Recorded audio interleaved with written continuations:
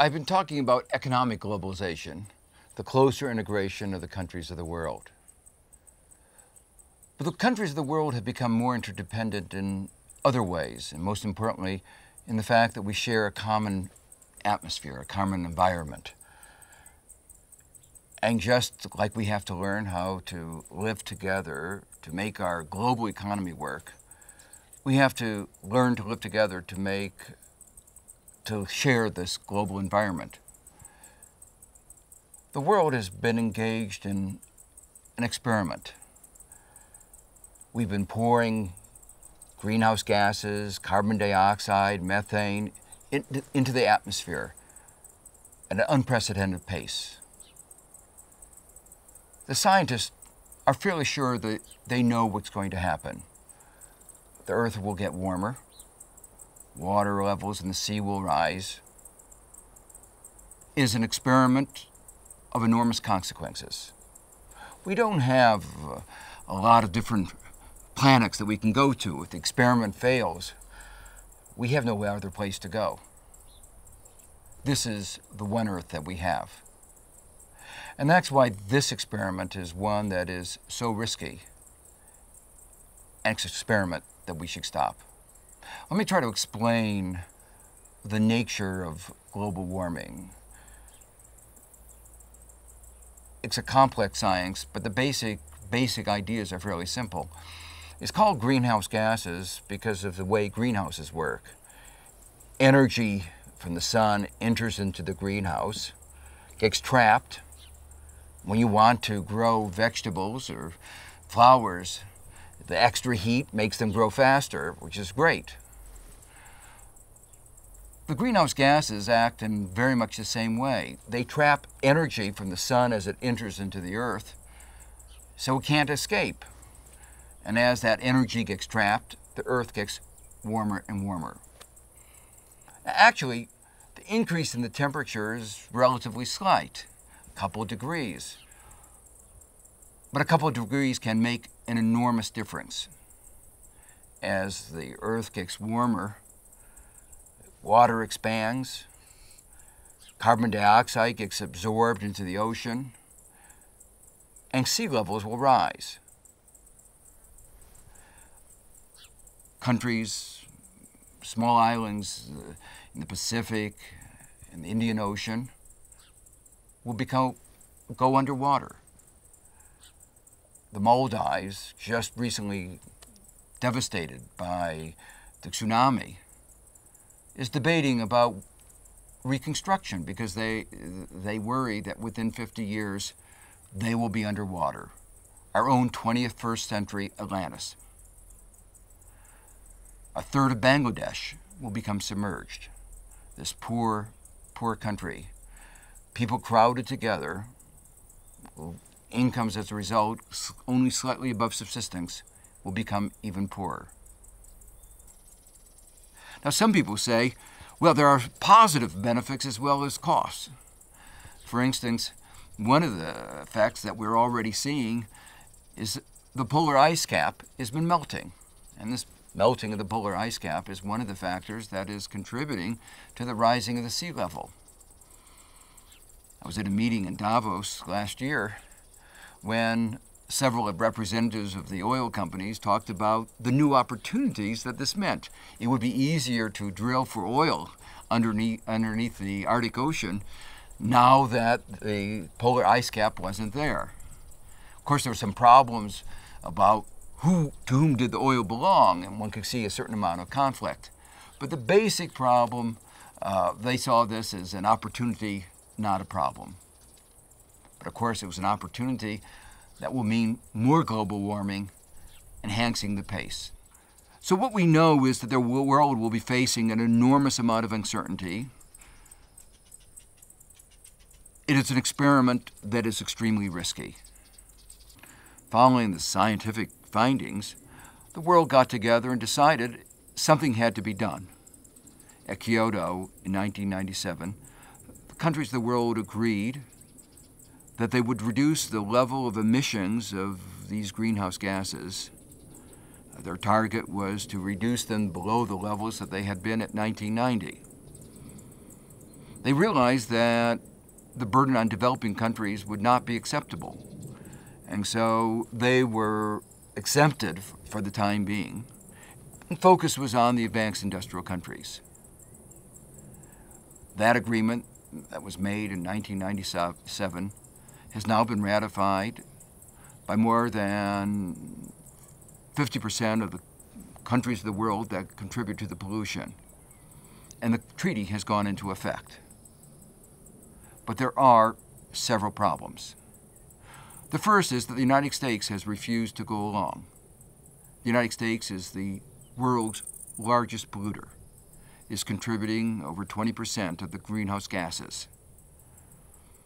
The level of greenhouse gas emissions from the United States is larger than that of dozens of countries put together from the developing world.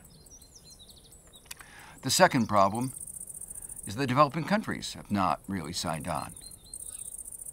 And they will play an increasingly important role in contributing to pollution. Within 25 years, they will be contributing more than 50% of the pollution. And unless they are brought along, the level of pollution will not be able to control, be controlled. The third problem is enforcement. Even after they sign, how do we make sure that countries comply?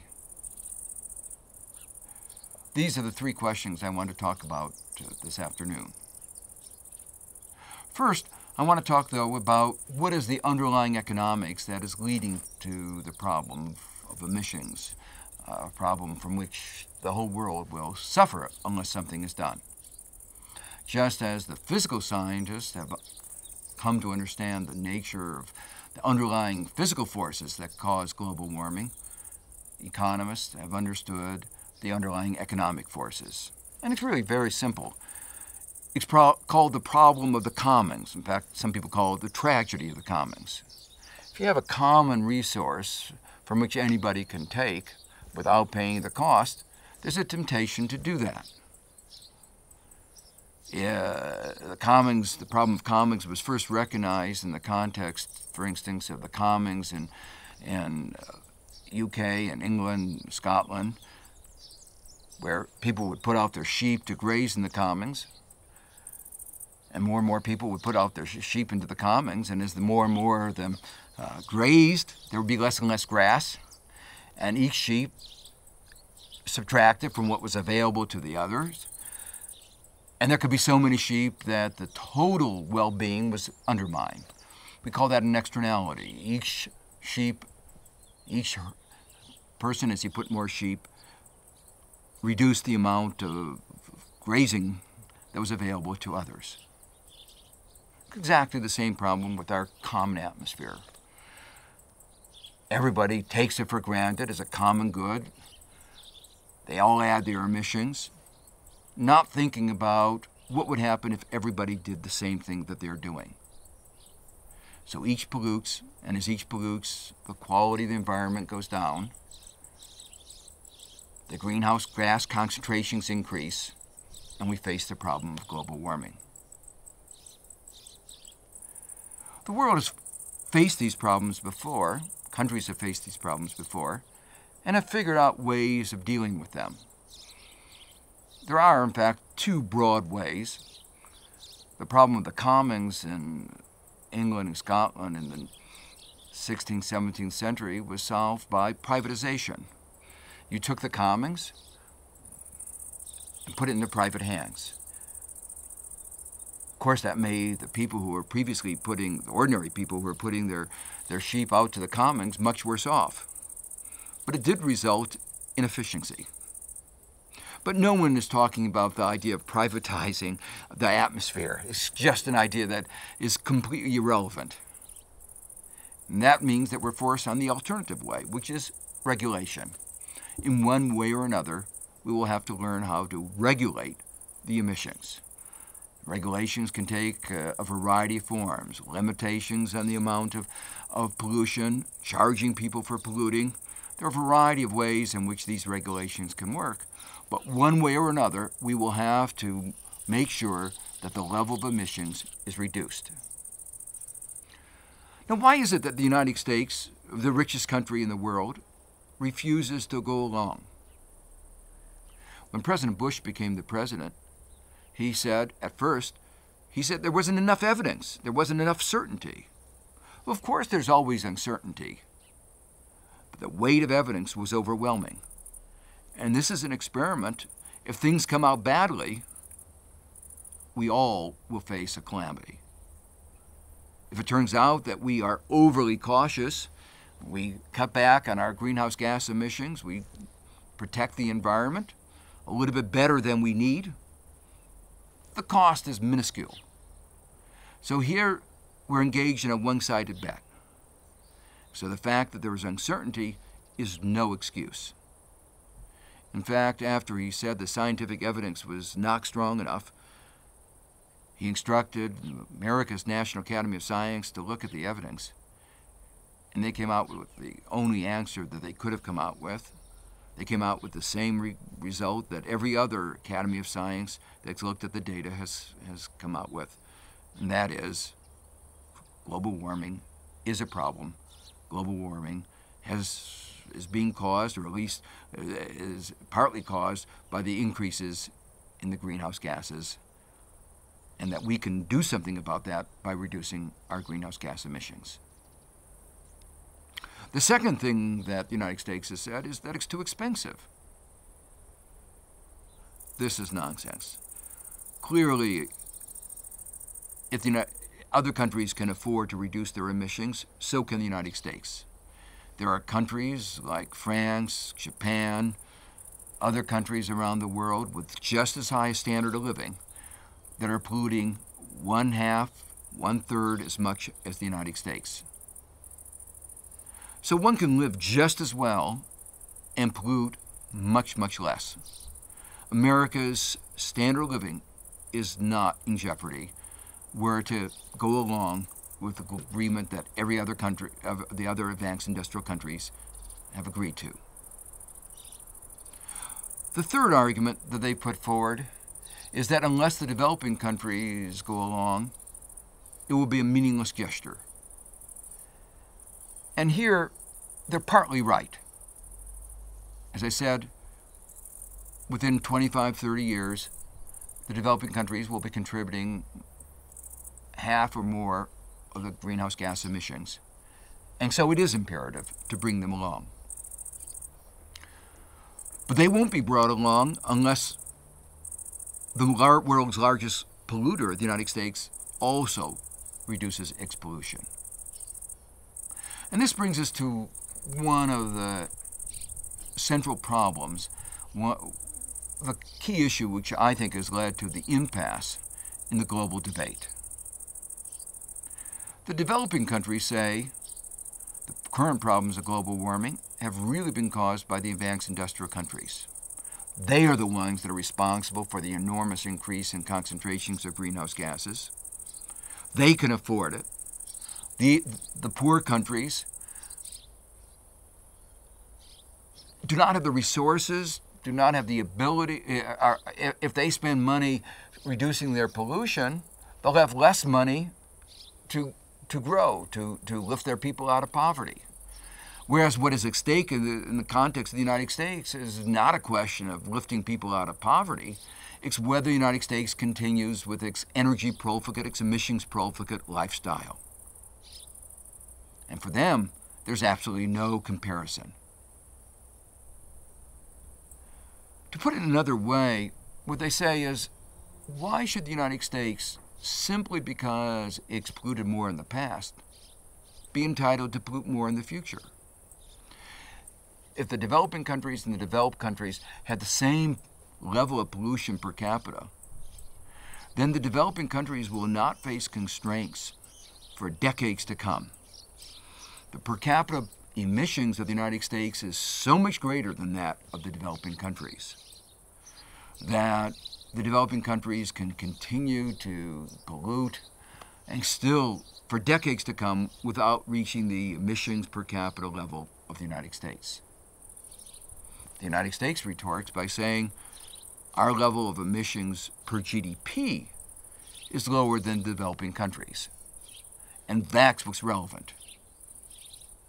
Now, it is true that poorer countries have less efficient technology And the result of that is they often emit more pollution per unit GDP.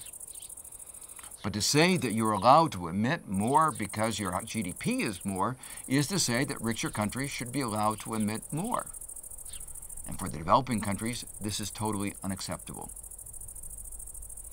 The result of this is that the world today faces an impasse.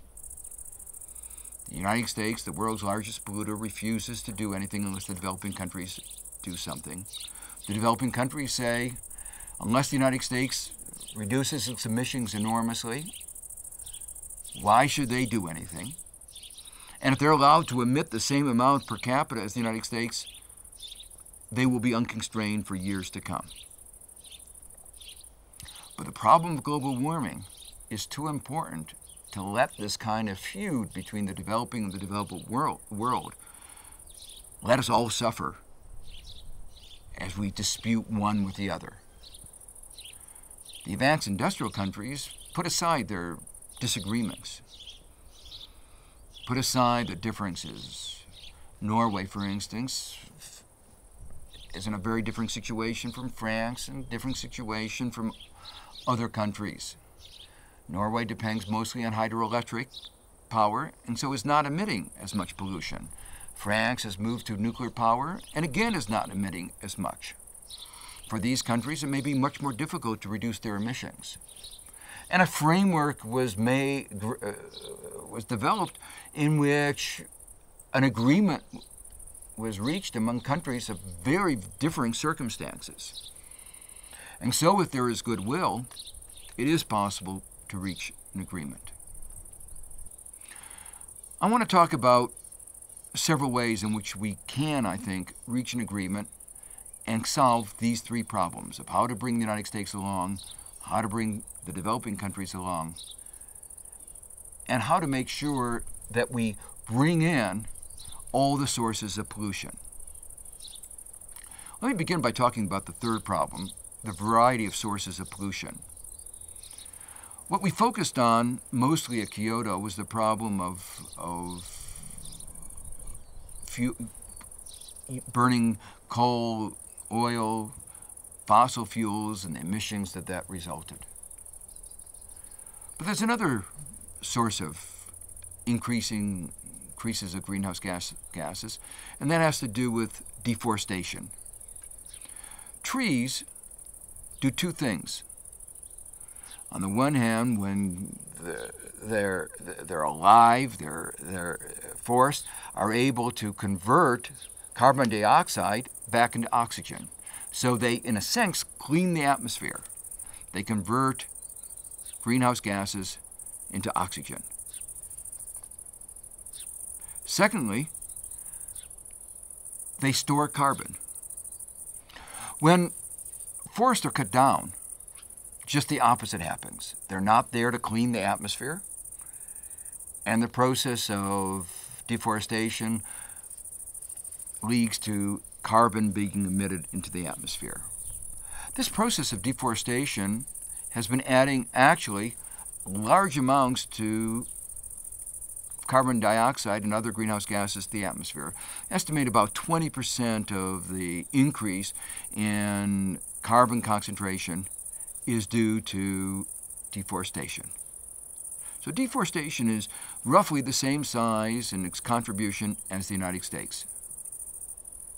Deforestation in two countries alone, Brazil and Indonesia, will undo something like 80% of the advances that Europe and other countries that signed the Kyoto Protocol have made in reducing their emission levels. So this is a major problem. Kyoto, however, made a significant mistake.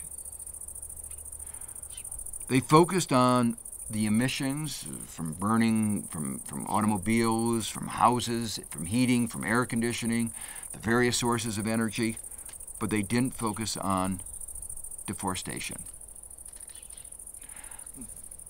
Countries were given credit if they planted forest, they called it carbon sequestration, but nothing was done to encourage countries not to engage in deforestation. And so, in fact, you have this anomalous situation where a country would be better off cutting down its forest and replanting it. Of course, that makes no economic sense. Recently, a group of countries called the Rainforest Coalition, countries, uh, tropical countries, uh, have these rich rainforests, have gotten together and made an extremely interesting proposal. They have said, we will preserve our rainforest if you can give us credit for doing so. The developing countries are making an enormous contribution to the global environment in several ways. Not only are they contributing by maintaining these forests to reducing the level of carbon in the atmosphere, but they're also, these forests serve to preserve biodiversity. Biodiversity is very important as a source of new drugs, new plants. Very important, so important, in fact, that there was an international agreement, international convention on maintaining biodiversity. But again, to, for the most part, developing countries are not being compensated for providing these services for the entire global community. We talk all the time about providing incentives. But unfortunately, we are not providing the developing countries with the incentives to use their land most efficiently. For many of these developing countries, the most efficient use of, the of their land is to maintain the rainforest. Efficient from the point of view of the world as a whole. But they don't have the incentive to do that under current arrangements. And they are too poor just to make a contribution to global well being. They would like to do it. They're only asking for getting compensation. Now, part of the Kyoto Protocol, the Kyoto Agreement, was a provision that countries that polluted a little bit more than they were allowed to could offset that by buying credits, as they were called, from people who polluted a little bit less. They're called offsets, creating in effect a market. You can call it a market for pollution. And there is a trading, a European trading system where people are buying and selling these pollution permits. So everybody is given a certain amount of pollution that they're allowed, and those who, who are more efficient can sell their greater efforts in reducing pollution to those who have greater difficulty in reducing pollution. So the notion here is that the developing countries, the tropical countries that are able to maintain their forests, would be provided with incentives to do that by selling their, their, their credits to those who are finding it difficult to meet their targets. This is important not only for the global environment, it's also extremely important for the development. The amounts of money we're talking about are large. Countries like the uh, Costa Rica, a number of the Africa countries, Papua New Guinea, got compensated appropriately for their environmental services. They would be receiving billions and billions of dollars. In fact, the amount, of the value of their environmental services for which they are currently not being compensated exceeds the value of the foreign aid that they are receiving today. So providing this money could make an enormous difference to their development. So we could at the same time protect the global environment and promote the development of some of the poorest countries in the world. The harder question is how do we get enforcement? Assume that we could get the developing countries to go along, assume that we could get the United States to go along. How can we enforce any agreement that is reached? Destroying the global environment deserves sanctions. The United States actually recognized the principle. A number of years ago, it brought a case against Thailand. It said that it wanted to bar shrimp that Thailand caught in nets that were killing turtles, endangered species of turtles. It wanted to bar those shrimp from the United States. It said that there's a global environmental importance of, of maintaining uh, these endangered species, of these turtles, and that that was sufficiently important that they could keep out these shrimp that were caught in these turtle unfriendly way. The WTO agreed. The WTO, there was some disagreement about the exact way things were done, but the general principle was that these global environmental benefits are sufficiently strong that if any country violates uh, international principles, sanctions could be imposed, and the United States was allowed, in effect, to go ahead with this barring of shrimp caught in these turtle unfriendly nets. But if it's important, if, if, if preserving turtles is important, preserving the atmosphere that we all live, that we all depend on, is even more important. We can look at the issue in a somewhat different way. The WTO, the World Trading Organization, is supposed to create a level playing field, a level playing field in which countries can compete on fair terms. But currently, there's a basic source of unfairness. Countries are not allowed to subsidize. That was one of the important parts of the Uruguay round, the trade agreement that was signed in 1994. But in effect, allowing a company to pollute the atmosphere is a hidden subsidy. Europe, Japan have said they're not going to allow their, their, their uh, firms in their country, households in their country, to pollute. There are restrictions on the emissions. That was the whole point of the Kyoto Protocol. If you pollute, you, have, you, you, you face certain consequences. But American firms are allowed to pollute. As a result, they face low energy prices, and this is should be viewed clearly as unfair competition. And so Europe and Japan, seems to me, should use the precedent of the shrimp turtle case, which the United States brought before the WTO, and say, you're America's allowing companies to pollute is an unfair trade subsidy, a hidden subsidy of significant magnitude. And it should be allowed to bar or to impose a tariff, particularly on energy intensive goods, which contribute so much to the level of global emissions. This would provide incentives. As an economist, I believe incentives matter. At one point, President Bush said, let's rely on voluntary system. Let people voluntarily reduce their emissions. And let's pray that technology will solve the problem. But if you believe in the market economy, you don't believe in just prayer. You don't believe that uh, innovation comes out of nowhere. Prices provide incentives.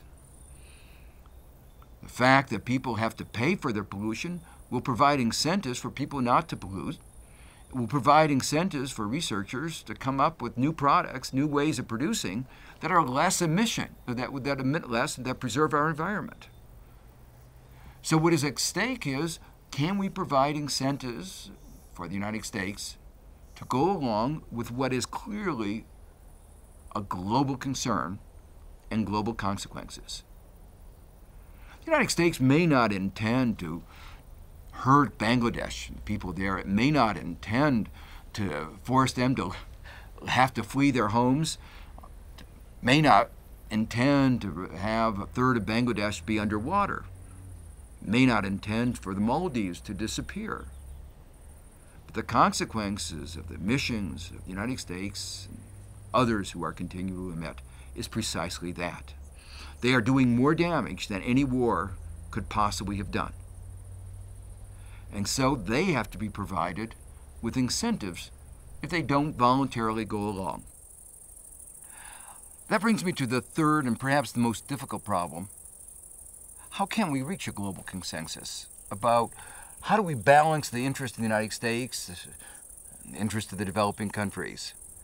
One that says we ought to have allow a certain emissions per capita. The other says we ought to have a certain emissions per unit of GDP. These two principles have enormously different consequences, and there seems at this point no way we can bring the two together. Well, there's another framework that we can use. And the basic framework is the following there is a social cost to pollution.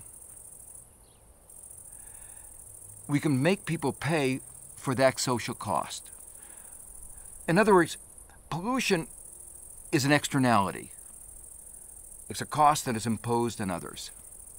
And if you make people pay for the cost that they impose on others, you can correct this failure of the market. You can provide incentives for people to economize, for people not to pollute. We use this kind of principle in many other contexts. People making people pay for the costs that they impose on society. The Kyoto framework was a natural one. There was a problem. People were polluting too much. And the response was let's reduce the amount of pollution by telling everybody to reduce the level of pollution that they were contributing. The problem is the difficulty of reaching agreement about how much each should reduce. The market provides an easy way of dealing with the problem. We'll make everybody pay for the cost, the marginal cost of that they impose on others. And so the international agreement would be that everybody would force, every country would force their firms and their households to pay for the cost of pollution. Now, ideally, they could use that revenue to fund global public goods the revenues, enormous revenues, could be used to, to finance uh, research, to finance global uh, needs in the area, in a whole variety of areas, including the cost of improving the environment, research. But that may not be possible. And a more conservative approach would just say, let each country keep the money themselves. In other words, they could use the tax, the penalty that people pay for emissions as a source of revenue, reducing other taxes. And this is consistent with a general principle in economics. It makes a lot more sense to tax bad things, like pollution, than to tax labor or savings, which are good things. And so if you switched from taxing work and taxing savings to taxing pollution, overall well being would actually be enhanced. We would do less of the bad things and more of the good things. And societal well being would be, societies would be better off. So, in this way, by, by focusing on this tax on pollution, we could actually make most countries of the world better off.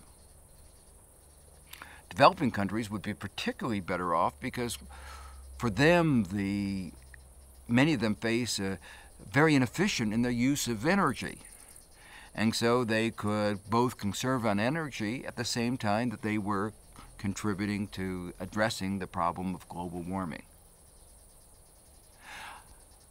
If everybody benefits from this, why haven't we done it? What's the resistance?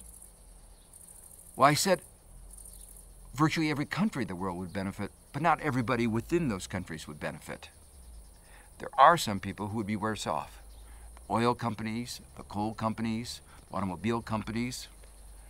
There are many people, special interests, that benefit from the current system. The American automobile companies like low energy prices, like low fuel prices, because they've developed these gas guzzling cars, and the lower the energy prices, the better they do. They can't compete with those who've done research to develop more fuel efficient cars. But I actually think that there's no reason why, if they were provided the right incentives, that they couldn't do just as well as Japanese companies and European companies that have learned how to make fuel efficient cars.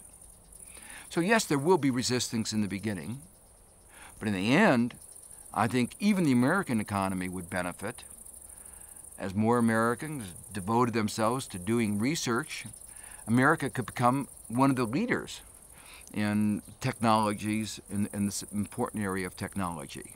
It has lagged because it hasn't had the incentive to go into these important developments.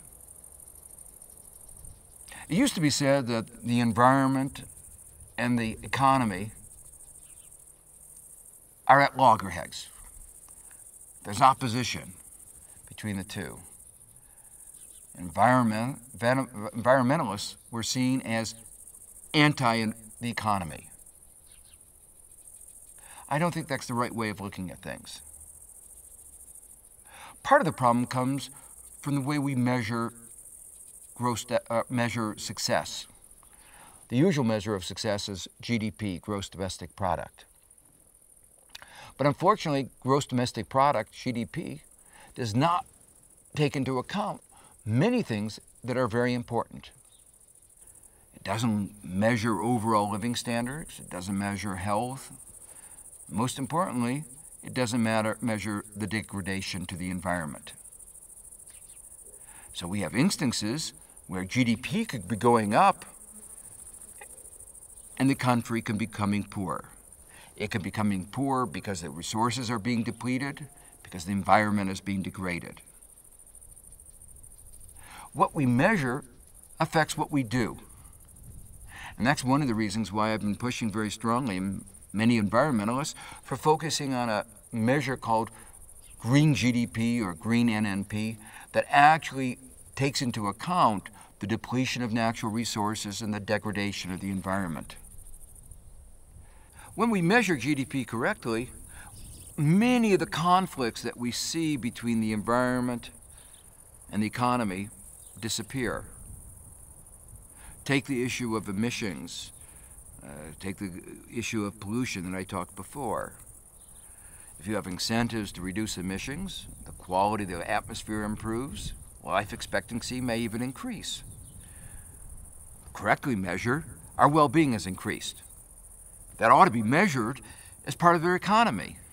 So, by providing the right incentives, we're both economizing on our, we're, we're promoting incentives to do the right thing.